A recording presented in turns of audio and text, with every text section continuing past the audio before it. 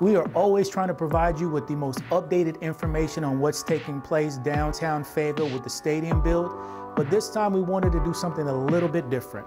We wanted to speak with some of the people who work behind the scenes and some of the things that are done before construction even starts. So come join me, let's go find out what's going on.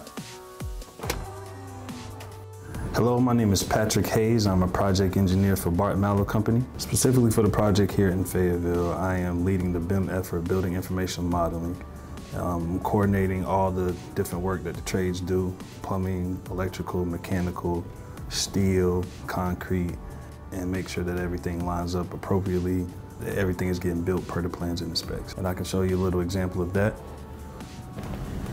All right, this is the basic 3D view of the Fayetteville Minor League Baseball Stadium.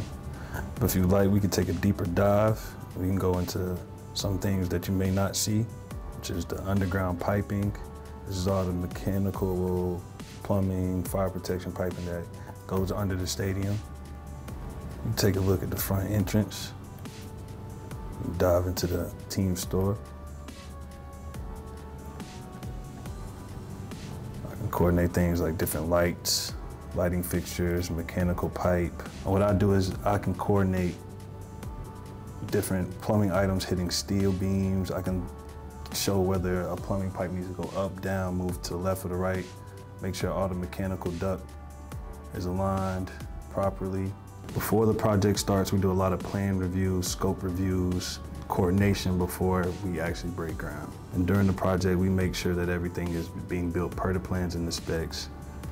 Before using 3D technology, we use 2D technology. So we would basically take the plans and drawings, different sheets, we would overlay them on top of each other, and you would get a sheet similar to this.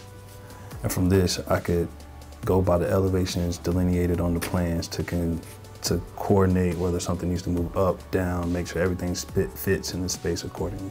I got interested in construction through uh, various amount of programs that I came up going, going through school. For example, I was in ROCAME, which is Regional Council for the Advancement of Minorities in Engineering. Um, I also was a part of different clubs at North Carolina A&T State University, and they provided me with the knowledge and plenty of opportunity to get into contact with companies such as Barton Malow.